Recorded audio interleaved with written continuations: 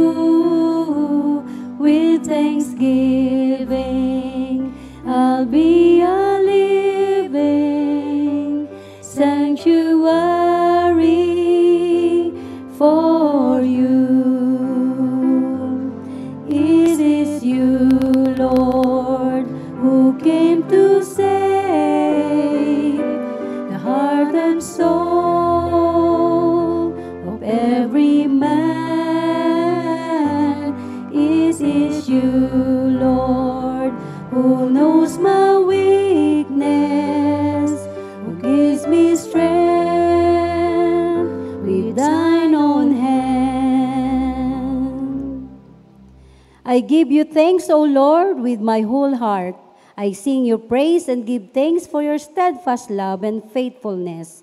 You have exalted your name and your word above everything. On the day I call, you answer me. You increase my strength of soul. Though the Lord is high, he regards the lowly, but the naughty he perceives from afar away. Though I walk in the midst of trouble, you preserve me against the wrath of enemies. You stretch out your hand, and your right hand delivers me. The Lord will fulfill his purpose for me. Your steadfast love, O Lord, endures forever. Do, not, forsake the work of your hands. Let us sing for the hymn of praise, Grace Greater Than Our Sin.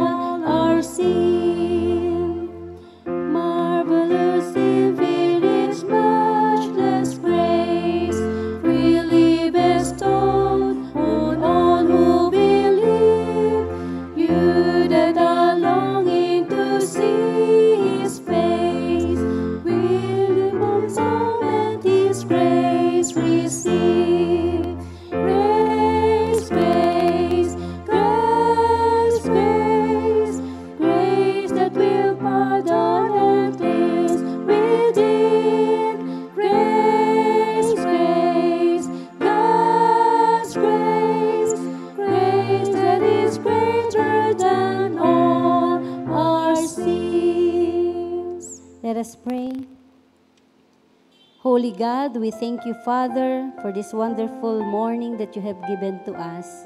We thank you, Lord God, for the strength and this life, Lord God, na may kasiglahan. Tunay na kami po ay nagpupurit, nagpapasalamat sa opportunity, Father God, to worship you in spirit and in truth. Lord, we welcome you, Lord God.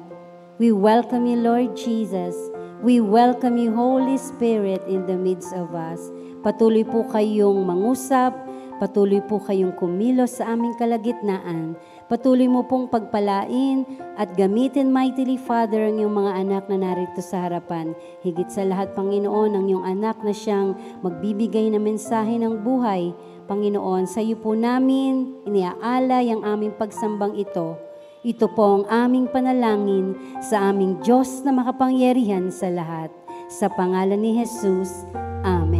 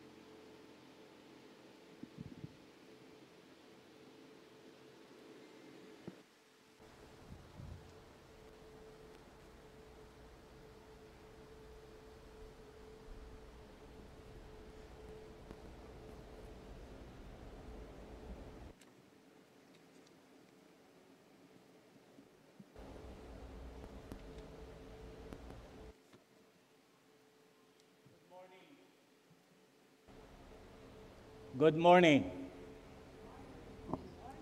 Welcome to Knox United Methodist Church. And welcome to our 9 o'clock worship service. What a wonderful time to be together today. Amen. And I do hope that you are all excited because today is a celebration of God's redeeming love for us by sending his only begotten Son, Jesus Christ, to die on the cross to redeem us from our sins. And of course, this is the first Sunday of the month and the first Sunday of the conference year. Kaya mga kapatid, tayo po ay nagdiriwang ngayon ng ating eh, tinatawag nating celebration of the Last Supper and Passover which I'm going to explain to you later on. And as we welcome each one of you, those who are watching right now through their, to their television, to their uh, computer, cell phone, uh, what have you, may the good Lord shower each one of us with His uh, enormous blessing. Kaya po ngayong umaga, mga kapatid, nais po namin na kayo ay anyayahan. Now, if you have an opportunity to send the link to your friends, to your loved ones, to those who are close to you, please do that now. Tingin ko ito ay uh, uh, Knox uh, United Methodist Church uh, Facebook account or face, Facebook page. Now share that to your um, to your loved ones, relatives, and to those who are close to you, your friends out there in, in various places of the world, so that you can become part of our celebration today. Mga kapatid, pandemya ngayon, kaya magtitiis tayo sa ating kalagayan. But of course, we have people here inside the sanctuary. And I would like to recognize them. Of course, my family is with me, and we have two brothers here who, uh, by chance, uh, passed around the place and they decided to worship with us. Yung nga lang, medyo uh, ika nga eh, nakakapanibago dahilan sa uh, talagang uh, wala pa po tayong face-to-face. While it is true that there is uh, a mandate coming from IATF that the, the mass gathering for religious organization institution can be 30% to 50%, but still we have to uh, work on it as a church. And I think the council is uh, ready to do um, um, to, to, to thresh that out and be able to come up with the specific measures as per recommendation coming from the ministerial college. So again, we're so happy to have you. Th- Those who are watching out there, thank you so much for being, being with us. Ngayon, mga kapatid, as I begin, maaring nagtatanong kayo, bakit nag-iba yung nakatayo dyan? Dati may buhok, ngayon wala. Sa bagay, may buhok ako sa gilid, pero sa ibaba wala. Kaya napakaliwanag mga kapatid. I do hope that uh, I've been seeing uh, through your screen uh, very, uh, uh, very brightly. And uh, Maputi po ako dyan. Tama po yun. Y- yun naman po yung nagsasabi ng totoo. Ano po. And uh, nais kong ipagbigay alam sa inyo mga kapatid. Kasi gusto ko sanang lumakad dito, hindi man ako makuha noong kwan. Okay, so can, can we move here? And then the, uh, okay, yan, yan, mas gusto ko dito eh. Okay, para I, I can uh, communicate with the people out there. Yan, praise be to God. You know, church, I'm so happy to be back. Okay, let me say that, to be back, yes. Because in 19, uh, 2004, not in 19, ako, hindi naman ako ganun katanda. Eh, In 2004, I was here in this church. So I would not say that it's my first time. I would say I returned back. But during that time, I was an associate pastor handling the Alders Gate worship service or the contemporary form of service. Pero ngayon po, ako'y bumabalik sa, cent- ah, I'm sorry, ang dami ko kasing kwan, ano? Kuminsan, St. Mayor na sasabi ko, kuminsan Central Church. Ah, oh, forgive me. Nandito na pala ako sa NAX. All right, mga kapatid, uh, this time I, I returned to this church, mga kapatid. So I'm not new here. I'm not new here. Kilala ko ang mga miyembro dito. I know them fully well. So I think yung uh, ating eh, honeymoon stage, eh, medyo kakalimutan natin yon dahil magkakakilala na tayo except for those new people who are with this church, which uh, I think uh, um, I'm not familiar with. But of course, I'm so happy to see uh, everybody, mga kapatid, na nahandyan kayo, yung mga miyembro natin na, na, na mga taga-NAPS, ano po, ako'y natutuwa na nahandyan kayo. And of course, I've seen, the, you know, uh, ano ba ito, old faces or mga dating nahandito noon. Si Francis nakita ko eh, and I'm so happy that uh, he's around. Yes, at saka yung mga kapatid natin uh, na napadaan and they are with us. Mga kapatid, ako po ay si Pastor Menry Mindilio. Ano po?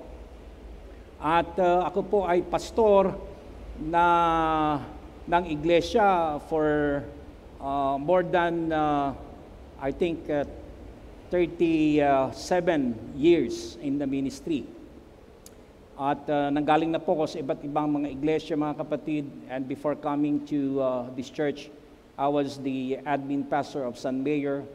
And uh, prior to San Mayor, I was the admin pastor of Central United Methodist Church. But there is so much joy returning back to this church. Ngayon, mga kapatid, gusto kong i-introduce sa inyo dahil nakita na ninyo. Pero nung nahandito ako, I think uh, Mrs. Mendilio, makapal pa ang aking taluktok, ano? Makapal pa ang aking buhok dito. Kulot pa ako noon. Kung matandaan ni, kung matandaan niya ni Kuya Dave uh, Sansano, nila Brother June, sila Ate Liz, ano? sila um, at Ate Perla, at saka si Nino June, ano? makapal pa noon eh. Anyway, nandito sila. And uh, during the time that I was here, ito pong dalawang anak ko na ito, maliliit pa. Ang liliit po niyan. Kaya sila, hindi nila matandaan ang pagkadistino namin dito.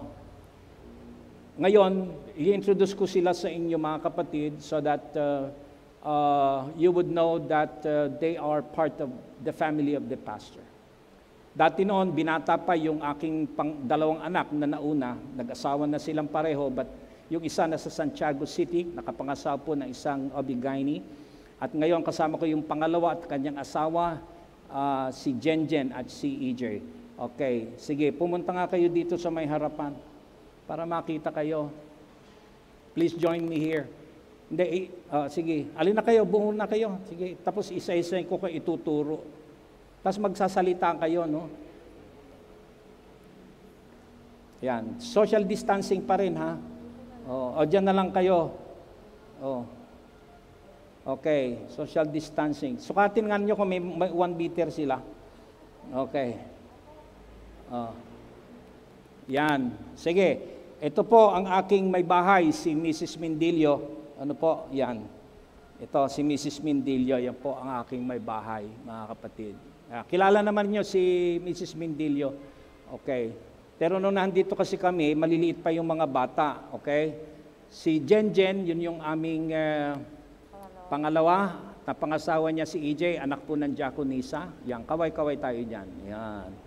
At ang pangatlo ko, after 13 years kami po naghintay, pinang, uh, binigyan kami ng Panginoon ng uh, isang lalaki, uli.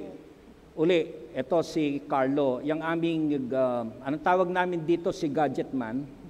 Dahil uh, magaling ito sa kan, eh, tec- technicality. Tsaka si, uh, si Jen Jen. So, yan po.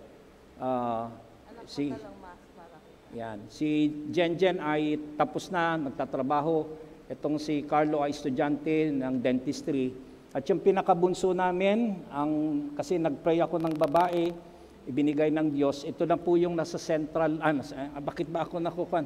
I'm sorry, tatawad muna po ano, intindihin niyo muna ako ngayon. si Kayla, okay, Beatrice, yan, kaway, si Kayla, yan, nagpi-premed po ngayon sa PLM. Ayan mga kapatid. And then meron kaming kasama sa bahay na siya na po ay part ng pamilya namin. Tinuturing naming uh, anak na rin ito eh. Na dalaga pa po ito, kaya yan. Kung meron pong... yan, si Maricel, makikita ninyo siya at uh, she's already part of our family, mga kapatid. At nandito na rin siya, nung nag-umpisa po sa amin, 15 years ago, she's already here with us, here at NAX, mga kapatid. So, mga kapatid, Salamat po sa pag-welcome ninyo. Salamat po sa mainit na inyong pagtanggap. Ha? Uh, at salamat din sa pag-welcome namin sa aming mga sarili dahil kami ay masayang nakabalik dito sa NAX. Salamat po mga kapatid at uh, sana ang dalangin ko magkatulong tayo for um, the advancement of the work of God through His church using the lay people of the church and those of you are praying for for us. God bless us all. Salamat po sa aking pamilya. Yan, palakpakan niyo sarili ninyo. Direct Francis, ala tayong clapper, ano? okay. Ngayon, mga kapatid, yung uh, mga announcements, na-announce na kanina, di ba? Meron ba ko i-announce? Ha? Yung pa rin. O oh, sige, paki-flash natin sa screen para mabasa ni Pastor Mendre yung mga nahandoon. And I, I hope I would be able to uh, read it correctly and be able to justify all the things that I'm going to say. Mga kapatid, uh, birthdays. Naku, marami yung mga birthdays. Umpisahan natin ang birthdays. Ah, hindi ba banggitin lahat? Uh, basahin na lang ninyo. Okay. I-flash na lang ninyo diyan and then uh, I will just simply say, happy birthday. Ah, ito, ito, I'm sorry. I, I should be guided here. Please forgive me. Uh, I would be uh, in a very awkward uh, situation now because I, I do not do the sequence. Okay, kasi ala kong pan eh, ala kong, ano tawag dito? Monitoring uh, kwan, para na, na, nasasabihin ako ni Direk. Anyway, sige. Schedule ng services. 7 o'clock, ay hindi, dawn prayer, right? We have a dawn prayer at 5 o'clock every Sunday. Don't forget it, mga kapatid. This coming Sunday, I will be the one who will preach in the dawn prayer. So please, be with us. Be with us. This is very important. If you believe in the power of prayer and prayer's power, be with us. Now, the only problem is for you to wake up early. But if you will try to do that, and become your habit every Sunday, then I will tell you it will make a difference into your lives. So please do that, church. Be with us during that prayer time. And then at 7 o'clock, ay Ilocano. Tama ba yan? Ilocano. Oh, gagayem kakabsat. Ada panagdaydayaw tayo. Tagalog na lang. Nang 7 o'clock. Ano po? Please don't miss that service. Pastor Marcel is the one in charge of that, right? And then at 9 o'clock, of course, our Tagalog English worship service. And uh, we would like to invite you to join us. And on, uh, oh, what is that? Uh, 3 o'clock, contemporary. Okay, contemporary worship service. And uh, this will be, uh, uh, this will be led by our pastor uh, Jericho Ong. Okay, so please be with, the, uh, with, with them this afternoon. All right? And then we have a midweek service every Thursday. at 6.30 in the afternoon. So please, in the evening, I should say. So please be there and join us. And the umagang kay ganda, si, kasama si Jesus. Ah, si Jesus ang kasama. Mga kapatid, I have a lot of blunders here, direct. Pasensya muna, direct. Okay. mga kapatid, panoorin niyo po dyan, yung tuloy-tuloy po yan mga kapatid. No changes at this time. We will just uh, um, go along with it. And then the, the multimedia team will meet and try to figure out what would be the next uh, uh, direction of this program, brothers and sisters in Christ. So please join um, the uh, morning devotion.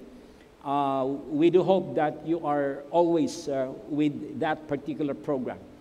Okay, ngayon, meron din ano, yung Ilocano na imbag adamag. Panagdayaw ken pana panag what's that? Panagkararag. Okay, panagkararag. Okay, kasi medyo parang malabo yung tingin ko doon sa kwan eh. Okay, panagdayaw ken panagkararag. Yan, yan po ay sa pangunguna ng kanilang pastor, Ilocano pastor, no other than Reverend Dr. uh, Marcel Tangilan. Yan. Siguro later on we will plan that uh, I, I will have also a special uh, program, uh, special program, so that uh, you know I'm thinking of the direct. I'm thinking of an international service. That's I'm praying now. An international service that they will, we're going to cater our service at NAX here all over the world. So our audience will be all over the world. Ano po? So I'm praying for that. Okay? So praise be to God. Oh, yun, ano nang susunod, uh, Irene? Ikaw na. Tapos na yung announcement ko. Okay, so mga kapatid, pagpasensya niya na si Pastor Mendre at this point in time. Ano po, uh, I will learn uh, the uh, rudiments of it later on. So thank you so much and I, I hope that you will experience God's work into your life. Now, I will say this before I sit down. Brothers and sisters in Christ, listen to me. God has a special and a surprise gift for you today. And I want you to believe. I want you to believe. And I'm saying this again God is going to do something beautiful into your life today. And I want you to be expectant of that because I know it. God is speaking powerfully right now to each one of you. And before I sit down, I would like to pray for all the people out there, those who are taking care of our online program, those who are in charge of our computers, the cameras, and all our sound system in this church. Lord God, bless them. Lord God, make use of them. I pray for your consecration upon these people. I pray, Father God, that you will be there because I know that you're using this format, Lord, so that we would be able to reach out our members in their homes and to reach out people all over the world. Lord, bless our service now. Bless our service. Allow your Holy Spirit to come and empower each one of us right now. Send your angels, oh God, and talk to the people in their homes and elsewhere. And allow, oh God, your power to manifest and show your power of healing. You show, Father God, the power of your message today. In Jesus' name, everybody say, Amen and Amen. Thank you.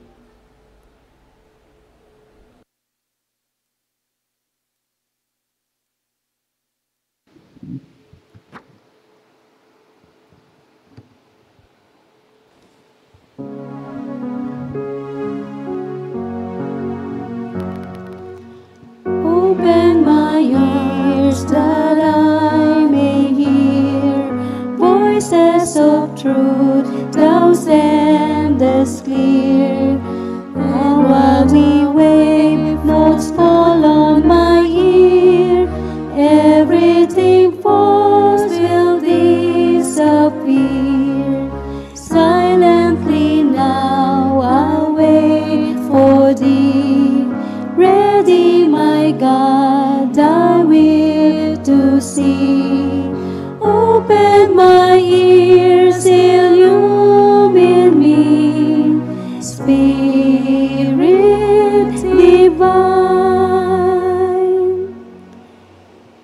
po sa ating pagbasa ng kasulatan. Ito po ay babasahin ko sa Tagalog mula po sa Lumang Tipan, ah, Unang Samuel, Kabanatang 8, talatang 4 hanggang 20.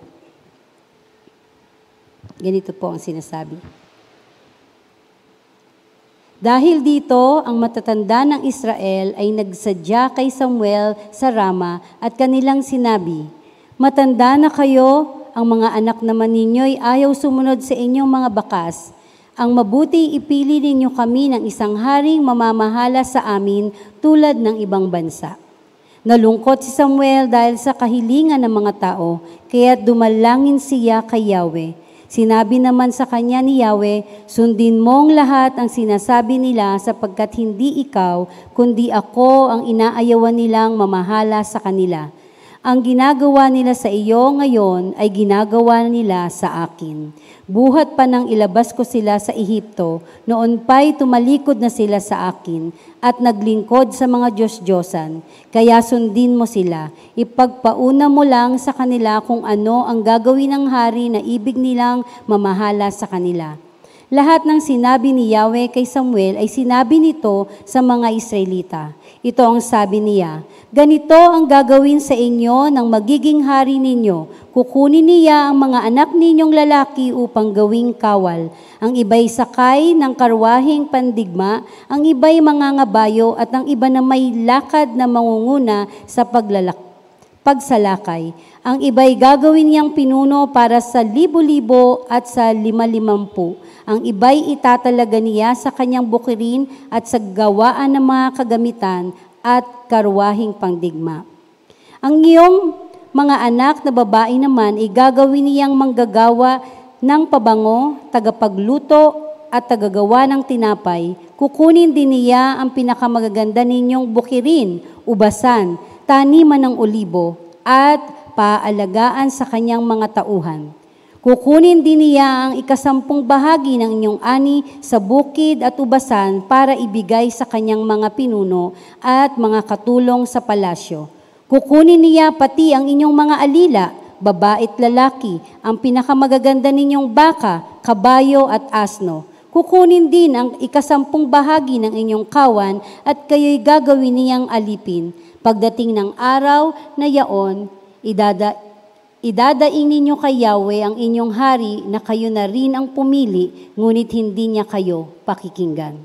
Hindi rin pinansin ng mga Israelita ang sinabi ni Samuel. Sa halip, sinabi nila, kahit ano ang gawin sa amin, ay ibig pa rin naming hari ang mamahala sa amin. Sa gayon, matutulad kami sa ibang bansa. Sa pamamahala kami ng isang haring magtatanggol sa amin laban sa mga kaaway.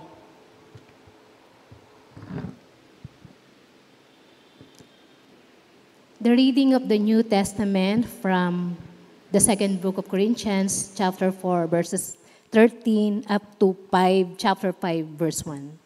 And it says, And since we have the same spirit of faith, according to what is written, I believe and therefore I spoke, we also believe and therefore speak, knowing that he who raised up the Lord Jesus will also raise us up with Jesus and will present and will present us with, with you.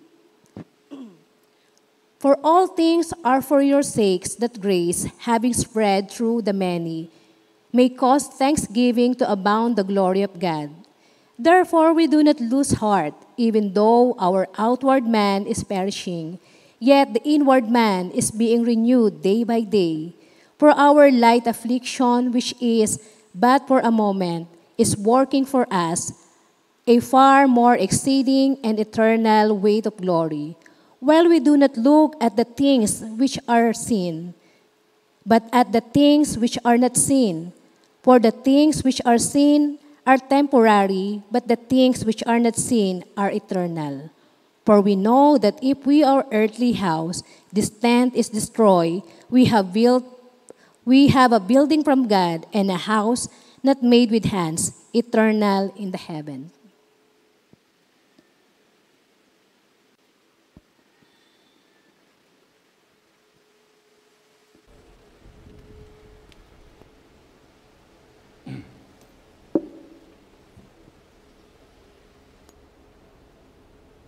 We're supposed to stand as we read the gospel.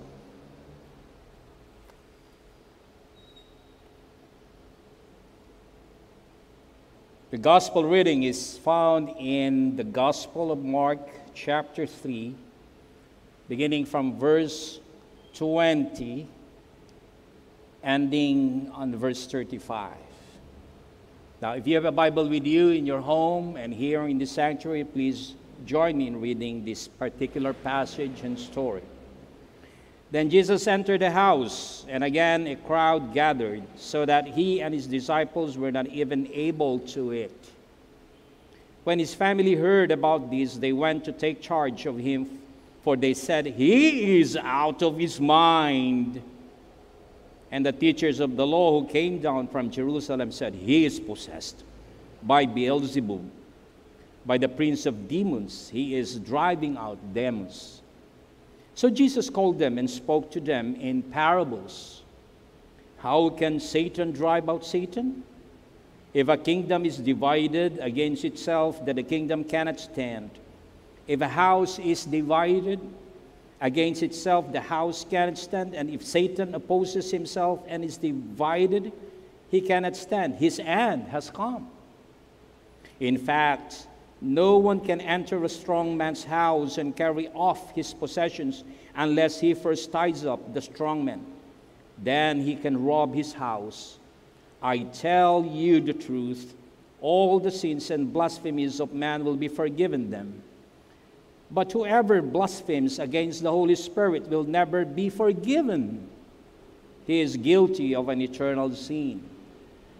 He said this because they were saying, He has an evil spirit. Then Jesus' mother and brothers arrived. Standing outside. They sent someone in to call him. A crowd was sitting around him, and they told him, Your mother and brothers are outside looking for you. Who are my mother and my brothers? He asked. Then he looked at those seated in a circle around him and said, here are my mother and my brothers. Whoever does God's will is my brother and sister and mother. This is the very word of God for the people of God. Everybody say, Amen.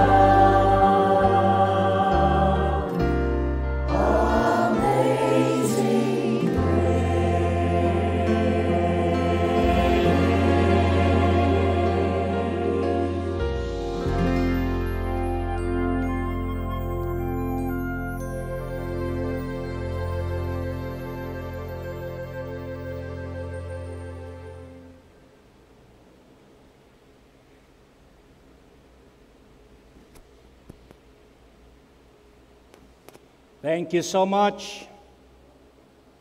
Virtual choir of Knox United Methodist Church. Wow. Those are familiar faces to me and uh, to Carol, my wife. We are so excited to meet you face to face, but not yet, because we are being restricted by uh, our situation today. It's pandemic, so we'll just be blessed with those uh, uh, rendition uh, using the virtual uh, format. And thank you so much, uh, Virtual Choir, for that beautiful and, and very uplifting uh, message of song. Grace, grace. Wow.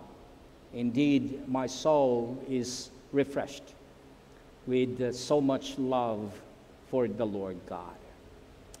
Wow. Pwede na yatang altar call na ngayon, ano? At background na natin yung uh, uh, virtual choir, but not yet. You have to listen to me first. Of course, before I'll proceed with the message, which is a lectionary lesson today, I would like to express uh, um, our deepest condolences to the family of Bishop Daniel Arichia Jr. We uh, condole with their mommy Ruth, uh, their children who are in U.S., and even uh, the loved ones of Bishop Arichea who passed away last June 1. The Misha College went to Central Church last night to uh, pay our last tribute to him and handed over our uh, love gift for uh, the Aricheas.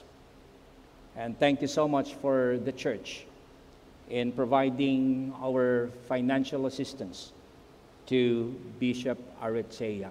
I will tell you this, brothers and sisters in Christ, that they have been incurred a huge amount of, uh, of uh, money because of the hospitalization of Bishop Arichea. And we will pray for that, brothers and sisters in Christ. And I would like to enjoin each one of you, if you have an extra money, you can even share something for Bishop Arichea. And then I failed to do this. I failed to do this just a while ago, which I should have done. It's indeed a protocol for us, especially at this first Sunday of the conference year. And what is that? Simple lamang po. Nakalimutan ko po na i-introduce sa inyo ang mga na-appoint muli. Yon, tama ba yan? O, yung na-appoint muli dito sa uh, Knox United Methodist Church. Sana na't pala pinapunta ko, yun ang mali ko, no? Pinapunta ko si Pastor Marcel, si Pastor Jericho, para ma, bagaman sawan na siguro kayong nakikita sila, pero I, I uh, it is my responsibility to tell you that they were reappointed again. But uh, we are uh, uh, probably short of uh, um, conversation about that. Pero na-retain po silang lahat. Alam na ninyo yon, but today is the first Sunday, so andito po si Pastor Jericho. Siya na po ang uh, pastor ng contemporary service sa 3 o'clock. Yan, yan po. And then ang na-assign sa Ilocano ay walang iba kundi si Pastor Marcel pa rin. Opo, ako lang po ang naidagdag, mga kapatid. Ako lang po ang naidagdag this time sa mga manggagawa. Ang mga dating nahandito, sila po ay na-transfer out to another local church. At ang diaconate sa mga kapatid ay na-retain po sila ay si kapatid na Irene Bioya, at si kapatid na Sharon Rose Yabut. So i-welcome din po ninyo sila mga kapatid because today is the first Sunday of the conference year. So I'm so happy to be uh, uh, working with them within this conference year. I hope sila din po ay masaya na makakasama ako. Sana masaya sila. All right, so mga kapatid, yan pong idinagdag ko doon sa uh, ating uh, bulletin, mga kanina, mga kapatid, hindi ko po na isama ito. All right. So let's bow our heads and pray. Almighty God, we continue to lift up our soul unto you. Feed us with your word. Enable our spirit, Lord, to yearn into your very will. And we ask your Holy Spirit to come upon us in the name of Jesus Christ, that the Holy Spirit will give us wisdom and understanding as we listen to your very word. This is our prayer. In Jesus' mighty name. Everybody say, Amen and Amen. Now, brothers and sisters in Christ, those who belong to the body of Christ, I want you to look at this particular, um, I would say, lectionary lesson today. I seldomly preach in lectionary, but I decided to uh, deliver a lectionary lesson today because I would like to honor a great man who impacted a lot of people in the United Methodist Church and other churches. And I'm speaking to the lectionary lesson guru, no other than Bishop Daniel Arichia. And I made a promise last night that I will continue the tradition of lectionary lesson clinic, which I'm going to handle beginning July in Northwest Metro Manila District. I don't know how uh, wide and how, uh, um, how long it will be, uh, but uh, it is my commitment as I honor our beloved Bishop, Bishop Daniel Arichia Jr. Now, our lectionary lesson can be found in four important books in the Bible. One in the Old Testament from 1 Samuel chapter 8, 4 to 20. Now, I want you to get your Bible and open that on that particular uh, text.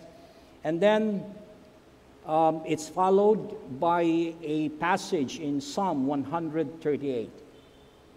And in the New Testament, we have the Second Corinthians, which is the epistle, chapter 4, 13 to 5 to verse 1. And then in the Gospel, which I have read to you, Mark chapter 3, 20 to 35. Now, I want to go back to these four particular books because we cannot understand the lectionary lesson unless and until we would be able to understand the entirety of these four books or four passages and stories that we have today. I'll begin with 1 Samuel. For us, you know, to understand the very scenario, the very uh, foundation of what we're going to discuss today. Here in 1 Samuel, Samuel, uh, Samuel was asked by the, the elders of uh, Israel. They are clamoring for a king. Sabi po nila, Samuel, kailangan na namin ng hari na mag, mangunguna sa amin. And so Samuel prayed and he talked to the Lord. And the Lord replied to him. And he said, You know, Samuel, if someone will be the king, here are the things that he must learn to implement. At kung babasahin niyo mga kapatid, I'm going to uh, to go back again. You have the Bible with you. E napakarami pong mga requirements doon ng isang hari na kailangan pong matupad. And the people would not, you know, stop clamoring and asking and demanding Samuel to do something. They are not after those responsibilities. They're not after those um, uh, rules and regulations. Uh, Israel, or Israelites or the elders of Israel would want and they would like to have a king right away. Kaya po, sabi ng Panginoon kay Samuel, you have to listen to them. You have to heed to what they want. And then Samuel made a prayer again, mga kapatid. At ang sabi ng Panginoon kay Samuel, Samuel, you talk to them on my behalf. I want you to speak. I want you to tell them. I want you to, to guide them. I want you to say something to them on my behalf. So yun po yung unang Samuel, mga kapatid. Yung sa Salmo, sa 138, it talks about the words of God. It talks about uh, uh, something about the goodness of the Lord, about praises. It talks about the sing or singing the ways of the Lord. But again, it boils down to one important thing that in Psalm 138, ang binabanggit po doon mga kapatid ay tungkol sa pagsasalita ng mga salita ng Diyos. You have to speak the very word of God. The, the words of God are very important here in 138. You have to talk about the very word of God. You have to speak out the very word of God. You know, I will, if I may read that particular passage in verse 4. When all the kings of the earth praise you, O Lord, when they hear the words of your mouth, underscoring when they hear. What is the premise of hearing, mga kapatid? Nakikinig ka because somebody is what? Talking. Amen. You hear, you listen because somebody is talking. Somebody is, is speaking. Now, in this particular passage, I want you to understand that it is the very Word of God being told. Ngayon, dito kay 2 Corinthians, kay Paul, his second letter to the Corinthians, chapter 4, 13 to 5, verse, or chapter 5 to 1. Ang sabi po niya mga kapatid, because of faith, they believe and therefore they speak. Dahil sila po ay naniniwala, dahil sila po ay uh, naroroon sa ganong kalagayan, ang sabi po ng 2 Corinthians, they speak, therefore they speak. So if you believe and if you have something in your life that you want to believe in, then you have to speak out. Then you have to tell what you believe in. And in Mark chapter 3, 20 to 35, which is the gospel of our lectionary lesson today, Jesus spoke of himself. Jesus spoke of who are his brothers, sisters, and mother. Ang istorya dito, sabi po ng mga naroroon, eh itong tao na ito ay sa demonyo. Pero ano sabi po ni Jesus? In fact, si Jesus at ang kanyang mga alagad, kakain na lang eh. Tingnan ninyo ha, kakain na lang. Pero ano po nangyari? Sila po ay dinaluhong ng maraming tao doon, asking questions. But then Jesus would allow them to come. Sige lang, papuntahin ninyo. The very reason why Jesus asked them to come, so that Jesus would be able to tell, underscoring that particular um, word, to tell something to them. And indeed, doon po sa mga succeeding verses, mapansin ninyo, Jesus told them a parable. Now, if we will try to look at these four passages and texts, brothers and sisters in Christ, you will be amazed that this lectionary lesson is focusing on one specific message. God calls us to speak. Ang central focus ng lectionary lesson ngayon ay tungkol sa pagsasalita. God is calling us to speak. Samuel was instructed to speak. Some is about speaking so that people can hear the very Word of God. In Corinthians, because you have faith, therefore you speak. And in Mark, Jesus spoke of himself. He spoke of the very will of his Father who is in heaven. And what does it mean if we have that as our lectionary focus? God is calling each one of us, you and me, to speak out. There is a need and there is a call for God's people to speak out. At sabi ko nga, Lord, ang ganda naman ng pasimula ng linggo o ng conference year. Why? Because we are being directed by God what to do. We are being directed God, by God how to do it.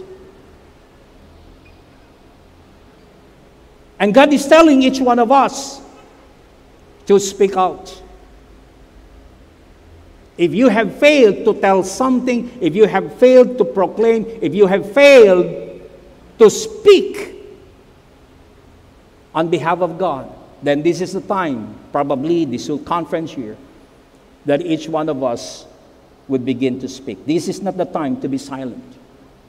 The kingdom of God requires a lot of talking today.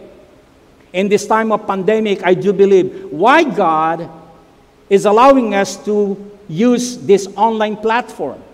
Why God is permitting us to improve our connectivity and be able to spread the gospel in all parts of the world. You know why? I do believe that is God's way for us to speak. It is God's way for us to proclaim. It is God's way for us to, to say something to a lot of people out there.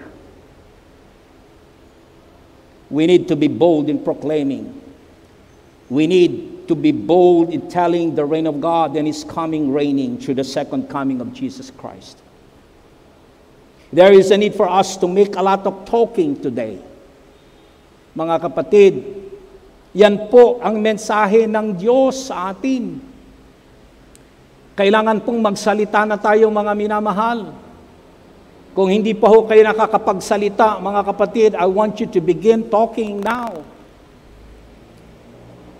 Kung hindi pa ho nyo nasusubukan, mga kapatid, na magsalita at magsabi, you have to begin Today, there is so much challenge or challenges along the way. But there is a need for you to begin talking. There is a need for you to begin telling and sharing something. At yun po ang direksyon ng mensahe ng Panginoon through this lectionary lesson. Now, the first question, what to speak about? Sasabihin nyo, Pastor, ano po ba ang sasabihin namin? Pastor, ano po ba ang aming ipangangalat? Ano ang aming sasabihin? Brothers and sisters in Christ, there is a need for us to realize this direction of God. It's about time for us to get out from our comfort zones. That seemingly we felt that talking, preaching, proclaiming belongs to the pastors and the deaconesses. We thought that this kind of, of ministry is only for those who studied at the seminary. No, I would like to change your understanding. It is not true that it belongs only to the pastors and deaconesses and those who studied in the seminary. Anyone who is part of the body of Christ, you have to talk you have to say something. Now, the first thing that you have to understand here is what to speak about. Ano po ang kailangang sasabihin ninyo? Mahirap naman kung salita ka ng salita, wala ka namang katuturan ang sinasabit, sinasalita mo. Look at this in Samuel, in 1 Samuel, listen to this church. In verse 10, Samuel told the words of the Lord. Kung inyo pong papansinin mga kapatid, if you have the Bible with you, ano po ang sabi doon, mga kapatid, sa verse 10? Samuel told all the words of the Lord to the people who were asking, asking him for a king. Ano po ang ginawa ni Samuel, mga kapatid? Ang ginawa po ni Samuel ay kanya pong sinabi ang salita ng Diyos. Kung anong sinabi ng Panginoon sa kanya, yun ang kanyang sinabi sa mga tao. So, on the basis of that particular passage, church, Samuel proclaimed the words of God. He informed the people of the instruction that he received from the Lord.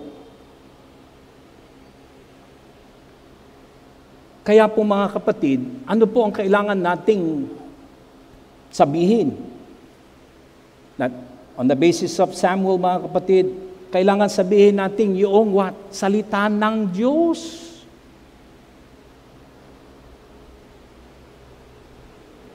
That's what we should talk about.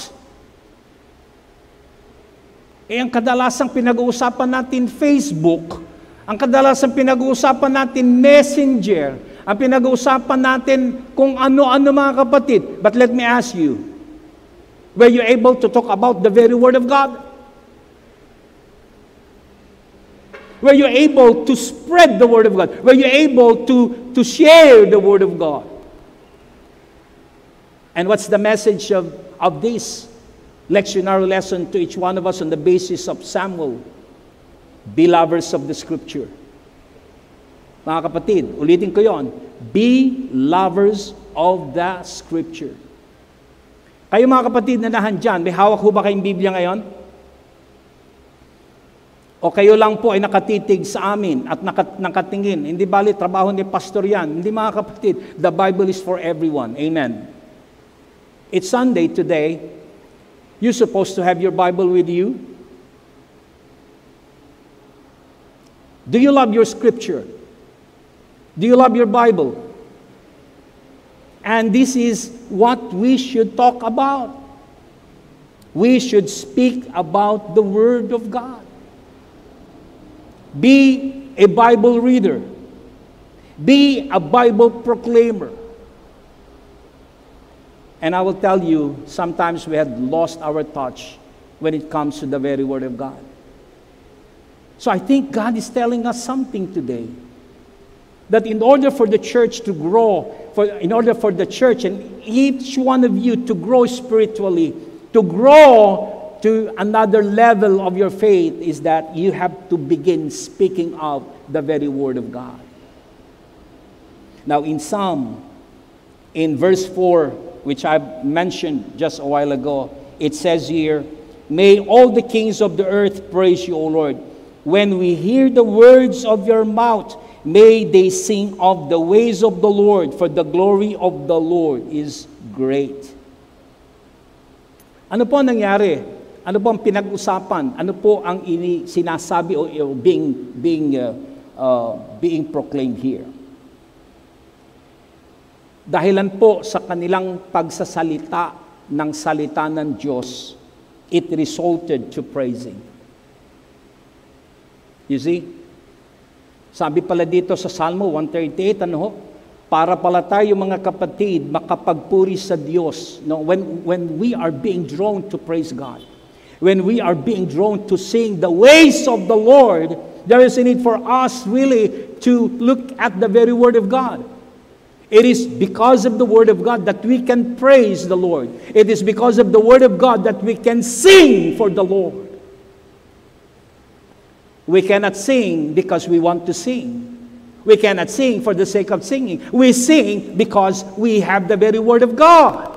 And we have to tell the people about the Word of God. And let's speak about the Word of God so that we would be able to allow each one of us to sing praises to God. So our home will be filled with praises. Our home will be filled with singing. Our home will be filled with God's awesome words.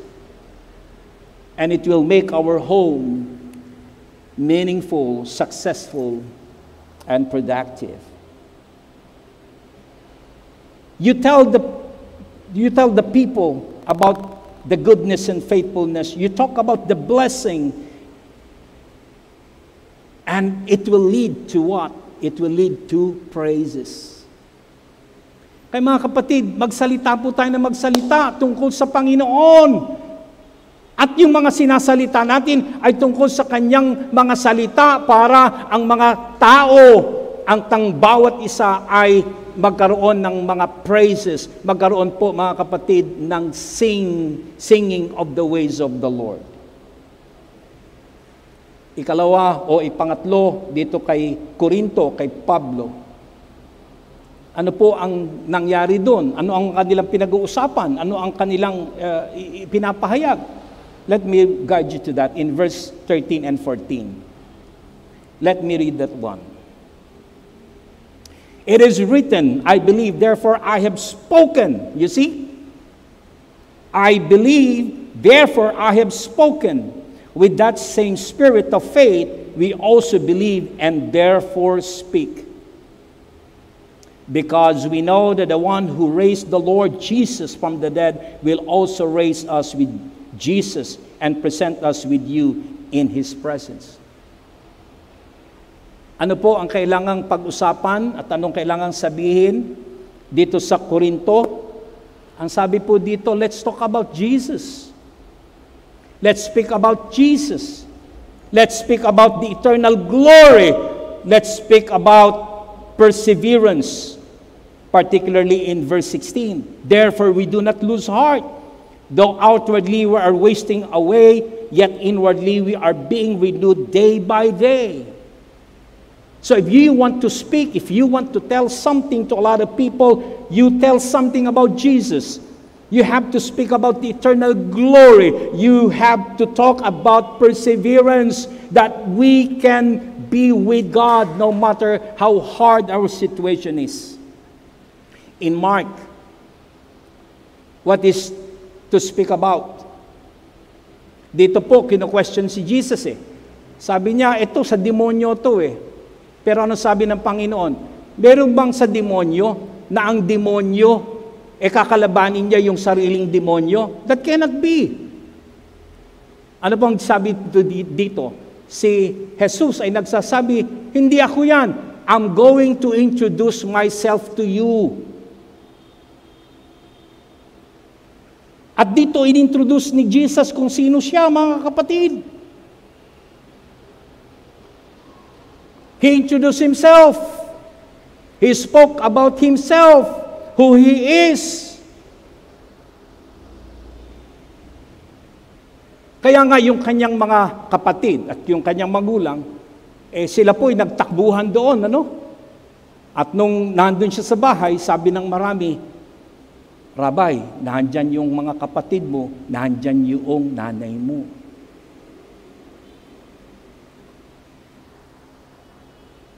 You see, the mere fact that Jesus' brothers and mother were there is an admission to the very fact that Jesus is actually introducing who he is. He's talking about Himself. Ako ito, ako si Jesus na anak ng Diyos.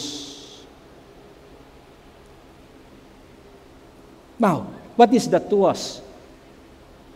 What to speak about? According to Mark, let's talk about who we are in Christ. Let's share to a lot of people who is Christ in our lives. You tell the people there how, how people would know you, how the people would, would be able to see you in the sense that you are with Christ. Kayo ba mga kapatid, eh, are you telling the people who you are? Are you telling the people that Christ is in you? Are you telling the people that Christ is living in you? Are you telling the, the people that in your home there is Christ? You speak and tell them that you are indeed children of God. In Mark, ano pong binanggit dito? They have to talk about the will of God. Sabi ni Jesus, ito ang kalooban ng, ng ating Diyos, ang kalooban ng Diyos kung gusto ninyo na kayo ay maging anak o maging kapatid, kung kayo ay maging nanay, kailangan gawin ninyo ang kalooban ng Diyos. And what is the will of God that being uh, being shared here by Jesus? The will of God is for Him to be known. That's the will of God. And I would like to tell this to everyone. The will of God is for Him to be proclaimed. The will of God is for us to be in His words. The will of God is for us to tell other people of His love. The will of God is for us to tell how God can change the life of a person. The will of God is for us to please Him every day. The will of God is for us to exalt His name. That's the very will of God. The very will of God is for us to speak out. The very will of God is for us to tell who God is in our lives. Now, pagkatapos nating malaman mga kapatid, ano ang dapat na ipangangalandakan natin, ano ang dapat nating sasabihin, mga minamahal. Hindi kung ano-ano ang sasabihin, kundi itong kailangan sabihin. Now, as a church, that's how we should operate. That's how our faith should go on. There are requisites of a speaker. Eh, hindi ho lahat pwedeng magsalita. Pero kung meron kayo nito, magsalita na po kayo na magsalita. I'll begin.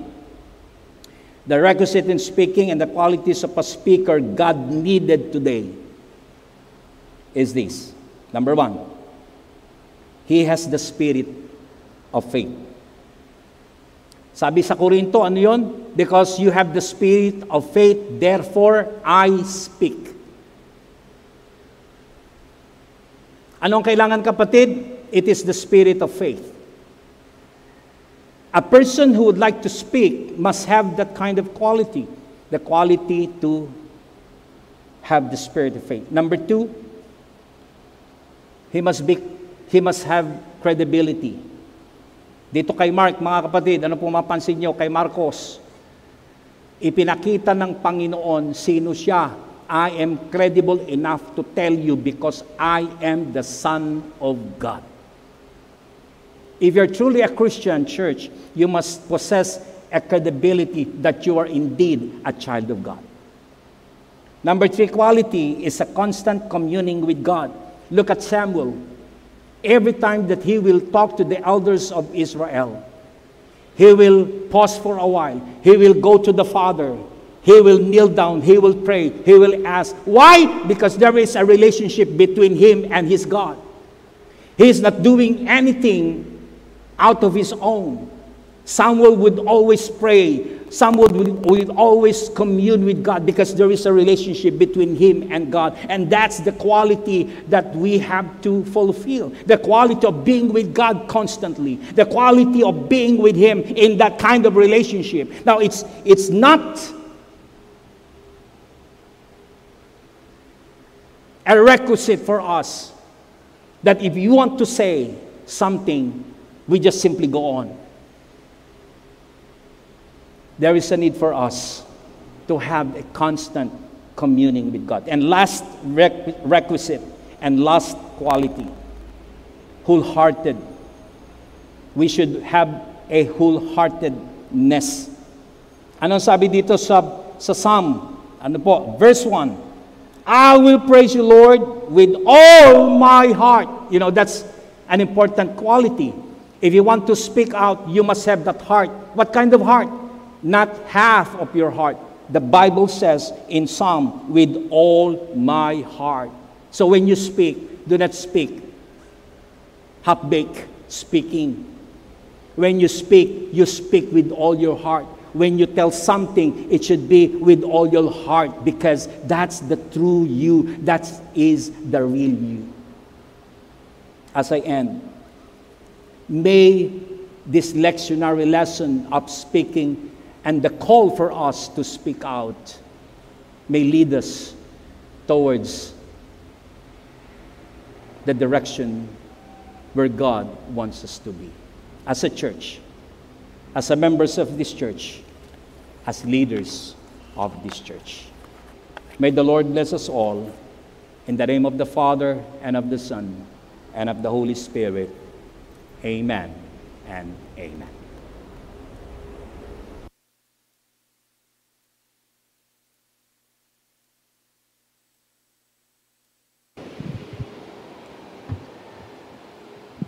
For our uh, offering, according to 2 Corinthians chapter 9 verse 6 to 8, remember this, whoever sows sparingly will also reap sparingly, and whoever sows generously will also reap generously. Each of you should give what you have decided in your heart to give, not reluctantly or under compulsion, for God loves a cheerful giver. Para po sa ating mga Ah, pagkakaloob, nariyan po sa ating ah, screen ang ating video ah, account or GCash account para po sa ating mga pagpapadala ng ating mga offerings, tithes and offerings.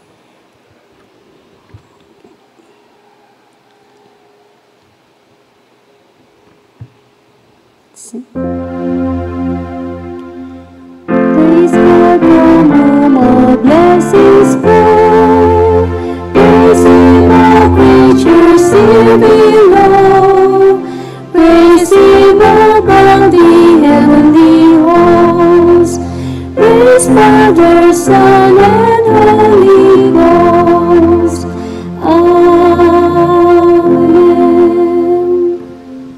Thank you, O Lord, for the blessing of uh, opportunities, for providing us material goods, for providing us livelihood and source of our living.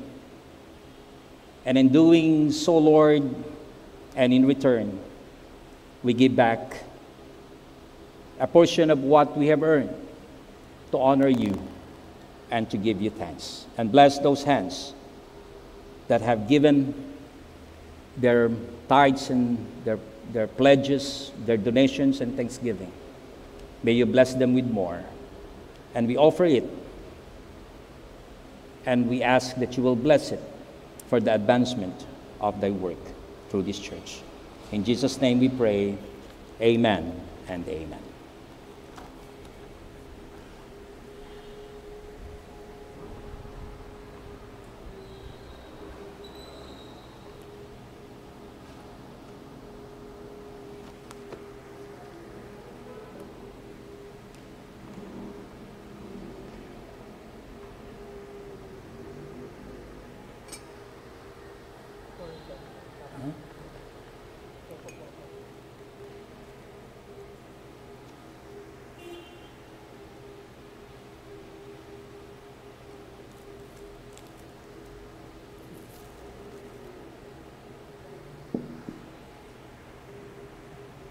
Mga kapatid, gagawin po natin ang ah, pagdiriwang ng ah, huling hapunan ng Panginoon at ng Passover. Alam niyo po, sa pandemya ngayon ay napakahirap ng sitwasyon natin as a church because much we uh, would like to have our communion, the regular one. Eh, hindi ho natin magagawa, mga kapatid. There are a lot of um, requirements to be uh, supplied and needed for the conduct of the regular communion. But uh, nonetheless, we're going to have our uh, Passover celebration and uh, uh, celebration of the Last Supper of the Lord Jesus Christ. Kaya ka po kayo nasa bahay, if you have your meal there, you have your um, bread, um, you just simply prepare that, and we will about to uh, begin our administration of, of this.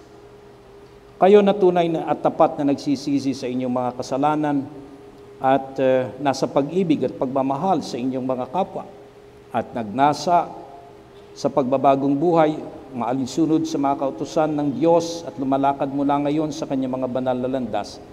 Magsidulog nga kayo rito na may pananampalataya at tanggapin ninyo itong banal na sakramento sa kaaliwan ninyo at sa paninikluhod ay gawin ang may pagpapakumbabang pangungumpisal sa makapangyarihan Diyos. Manalangin tayo, makapangyarihan Diyos, Ama ng aming Panginoong Yeso Kristo, lumalang ng lahat ng bagay, hukom ng lahat ng tao, aming tinatanggap at itinatangis ang madlang kasalanan at mga kasamaan na sa lahat ng panahon ay aming nagawa sa pag-iisip, sa salita at gawa laban sa dakila mong kadiyosan. Kami tunay na nagsisisi at buong puso nagdaramdam dahil sa aming mga pagsalangsang. Ang pag-alaala sa mga ito ay nagpapadalamhati sa amin, maawa ka sa amin.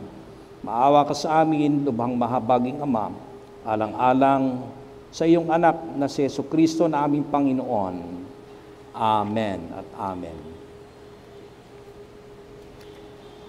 Na noong gabing siya ay pinagkanulo ay dumampot siya ng tinapay. At nang makapagpasalamat ay kanyang ibinahagi sa kanyang mga alagad at kanyang sinabi, kumuha at kumain kayo. Ito ang aking katawan na ibinibigay para sa inyo. Gawin niyo ito sa pag-aalaala sa akin. Kayo pong mga nasa tahanan ngayon, mga kapatid, Inyo pong hawakan ng tinapay na nasa sa inyo. Inyo pong itaas at alalahanin na ito'y simbolo ng katawan ni Kristo na ibinibigay sa atin. Pagkatapos ng hapunan ay kinuha niya ang saro at na makapagpasalamat ay kanyang ibinigay sa mga alagad at kanyang sinabi, kumuha at uminom kayo, itong dugo ng bagong tipan na nabubo para sa inyo sa kapagpapatawad ng inyong mga kasalanan. Gawin niyo ito sa ting iinom kayo sa pag-aalaala sa akin. Mga kapatid na nasa tahanan, hawakan ninyo ang inyong inumin, inyo pong itaas. At sa diwang ito, inyong alalahanin na ito'y simbolo ng dugo ni Kristo na nabubo para sa inyo at sa marami sa kapagpapatawad ng kasalanan. Inyo pong itaas na pareho mga kapatid ang tinapay at ang inyong iinumin at ako'y mananalangin. Panginoon, ikaw ang magbendisyon sa mga hawak na tinapay at ng inumin ng aking mga kapatid na sa tahanan man o nasaan man sila. Bendisyonan mo ito Bigyan mo ng kapangyarihan na sa pag-aalalang ito at sa pagtanggap nila at pagkain, maranasan nila ang iyong pag-ibig, maranasan nila ang iyong pagkilos. Sa pangalan ni Jesus, tinatalaga namin ito sa pangalan ng Ama, ng Anak at ng Espiritu Santo. Amen at Amen.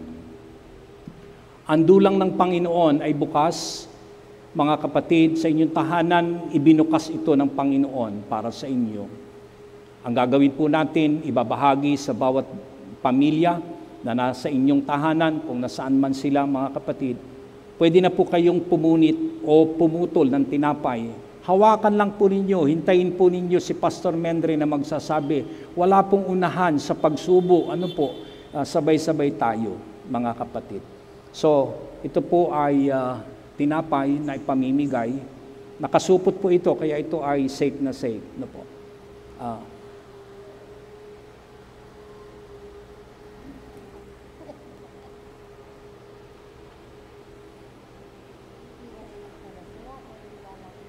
Lapit na ninyo.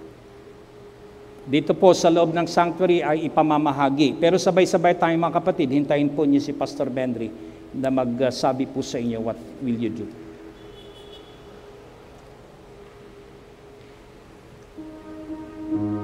Lahat po ng miyembro ng pamilya ay uh, hamawak po kayo.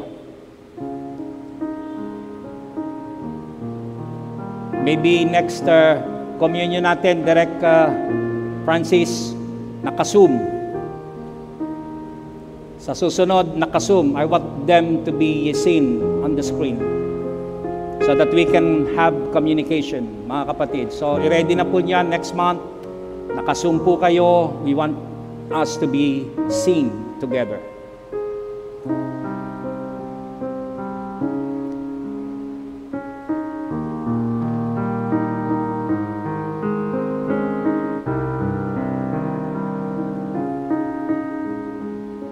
Habang hinahawakan niyo mga kapatid, kayo na sa bahay ngayon, I want you to reflect. I want you to think about Jesus. I want you to think about the love of God.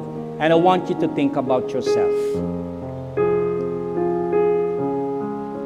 We want strength from God. And the Holy Communion will enable us to become strong in faith. Amen. Yes, God is good today.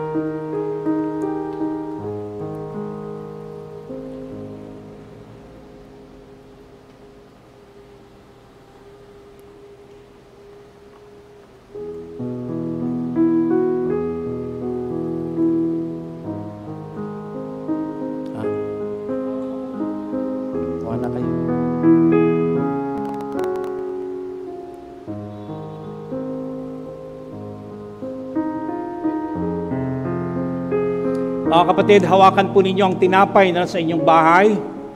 Kung anong tinapay man yan mga kapatid, it is just a symbol of the body of Christ. Sabi po ng Panginoon sa Kristo, ito ang aking katawan, ibinibigay sa inyo. Kumain kayo sa pag-aalaala sa akin. Mga kapatid ko, kumuha kayo ng tinapay at tayo po ay kumain.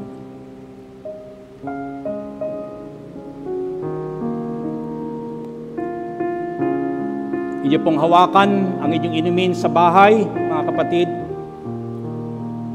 Ang sabi ng Panginoon, Yeso Kristo, ito ang aking dugo na ibinubo para sa inyo sa pagpapatawad ng inyong kasalanan. Inumin niyo ito sa pag-aalaala sa akin. Mga kapatid, sabay-sabay po tayong mag-alala sa pagitan ng pag-inom ng ating inumin ngayon.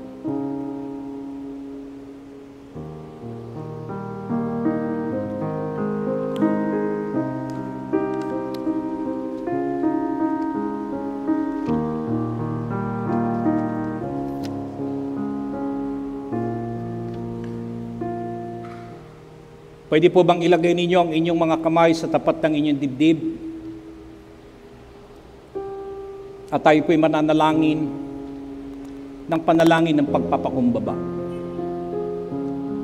Hindi namin ipinalalagay sa pagdulog dito sa iyong dulang o mahabaging Panginoon na nagtitiwala sa aming sariling katwiran, kundi sa iyong di mabilang at mga dakilang kaawaan hindi nga kami karapat dapat na mamulot man lamang ng mga mumo sa ilalim ng dulang. Ngunit ikaw din ang Panginoon ang kawaan na hindi nagkukulang. Kaya nga ipagkaloob mo sa amin, mapagbiyayang Panginoon, sa pakikibahaging ito sa mga pag-aalaala sa iyong anak at magpatuloy sa paglago sa kanyang wangis at kami manahan sa kanya at siya naman sa amin magpakailanman. Salamat po. Lahat ay magsabi, Salamat, Panginoon. Amen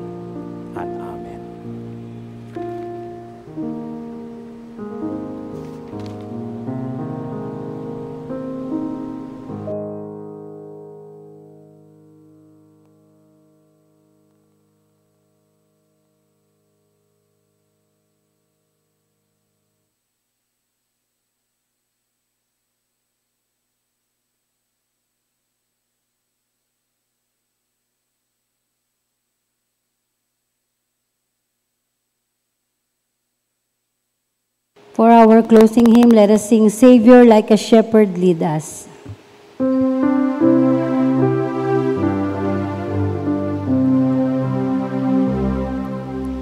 Savior, like a shepherd, lead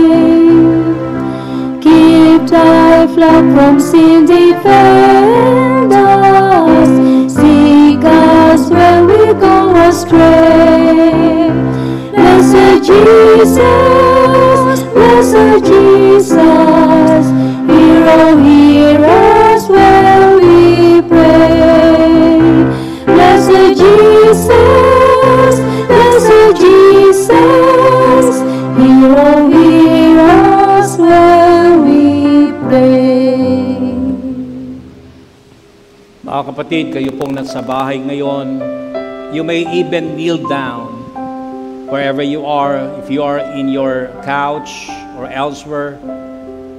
If you want to come into the presence of God and be able to express your heart before Him, you can kneel down. And let us pray together and let's continue to believe that God is going to listen to all our prayers. Let's bow our heads and pray. Oh, Almost gracious Heavenly Father, we thank you for allowing us to be together today in this very first Sunday of this month, and even the first Sunday of this conference year. We thank you, O God, for the opportunity that you have given to all the members of the church who are watching now and who are joining us in this virtual and online live broadcast. We even thank you, O God, for the presence of our loved ones, for the presence of our friends all over the world. Our friends and members of this church here in the Philippines. And we thank you, O God, for those who are here. We thank you, O Lord, for allowing us to see you, to experience you, and to have a new dimension of understanding about you, O Lord. We even thank you, Lord, for the presence of your Holy Spirit who guided us today. We thank you, O God, for all the provisions that you have given. We thank you for all the protections and all the things that you have done, Lord, to keep us away from COVID 19. And thank you, O Lord, for the healing that you have given to those who were tested positive and now they are negative of the virus. We thank you, O God, for the donations, for the offerings, and for the contributions of the members and non-members to the church so that the programs and even the ministries will go on. We even thank you, O God, for those who are praying for one another. We thank you, O God, for all the programs that we have, exercising, O Lord, our faith and telling a lot of people all over the world how God is so gracious and loving. And today, we would like to experience the same. We would like, Father God, that our God, who is powerful, who is the creator and the finisher of life, would be able to strengthen our faith and be able, Lord, to become strong in the midst of pandemic. And it is my prayer, Lord, that each one of us will be under the care of our God through Jesus Christ, our Lord. Lord, I'm praying for those who are experiencing so much burden in life, those who are being pressured because of economic situation and because of economic needs. I pray, Father God, those who are trying to, to meet both ends and trying, Father God, to have a better life ahead despite the pandemic. Lord, I pray for all the members of the church who are trying to grope for a better life despite having scarcity of resources. I pray, Lord, that you will speak to them, that they will never lose heart, and that they will continue to believe in the very word of God as the Word of God will speak to them and as they speak also about the Word of God. Oh Lord, I pray for those who are sick, down and trodden. I pray, Lord, that you will heal them. I pray, Father God, that you will give them the power to persevere.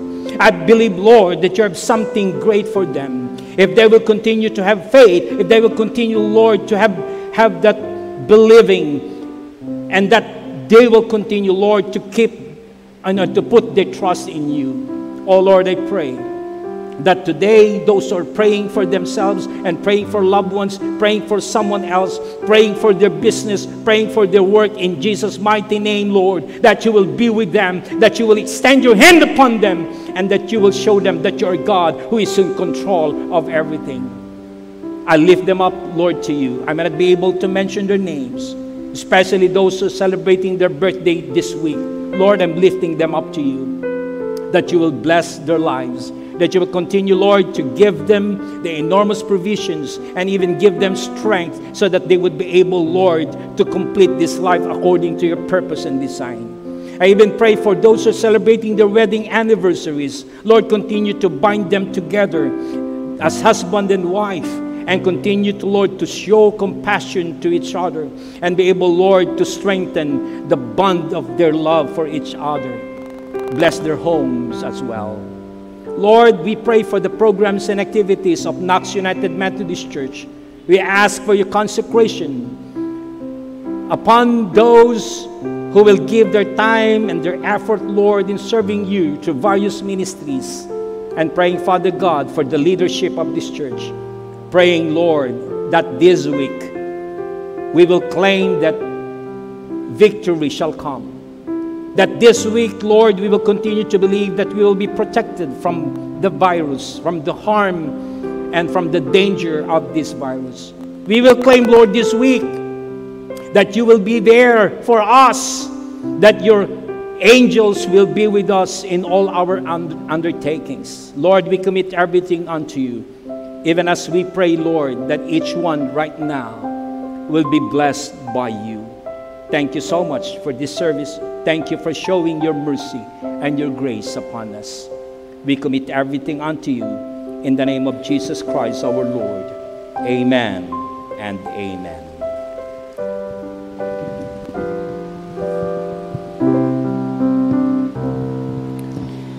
Thou hast promised to receive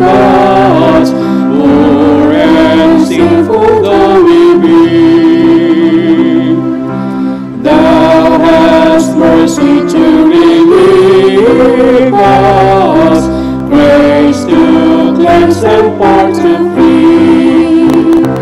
Blessed Jesus, blessed Jesus, we will early turn to thee.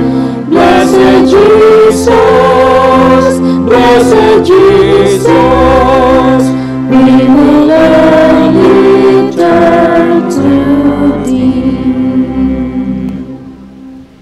And now, may the grace of the Lord Jesus Christ, the love of our Father, and the fellowship of, of the Holy Spirit be with you all, now and forevermore.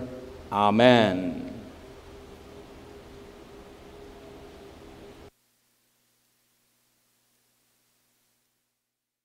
Oh.